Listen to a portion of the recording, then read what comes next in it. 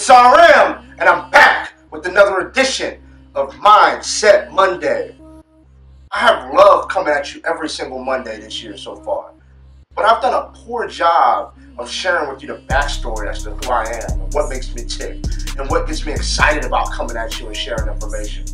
Look, halfway through my senior year, my principal comes to me and he tells me, Sean, you're probably not going to graduate.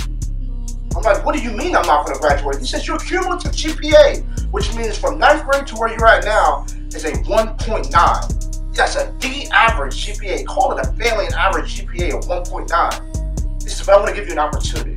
I want to give you an opportunity to go to summer school. You can walk with your friends on graduation night, but you're going to have a blank pamphlet. Nothing in there. So that's what I did. But let me tell you what. I was wondering, like, how did I get to this point? Like a D average? I'm not graduating with my friends on time. I have to go to summer school. Where was I at? And I realized something. That today, where you currently are, and that time it was that moment, but today is nothing more than yesterday's decisions. I'll say that again. Today, wherever you're at right now, this place in your life right now, is nothing more than yesterday's decisions. Which in my case, I ended up not being able to graduate on time because yesterday when I was younger, I made poor decisions. I skipped class. I didn't do my work. I tricked off time. I wasn't serious about my future.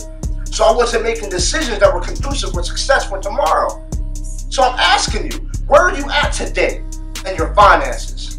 Where are you at in your marriage? Where are you at in your business? Where are you at in your career? Because chances are, if you're not cool with it, if you're not liking where you're at, it's because of yesterday's decisions.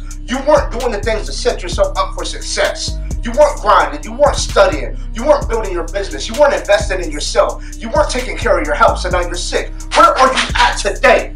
That's right. Where are you at today? Because if you don't like it, you get it to yourself.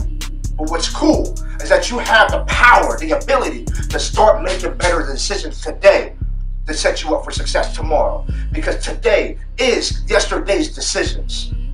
So I didn't like where I was at when I was told I couldn't graduate. I didn't like where I was at when I had to go to summer school every single day. I was 18 years old. I was getting an Algebra 1 credit so that I could go to college. I didn't like that.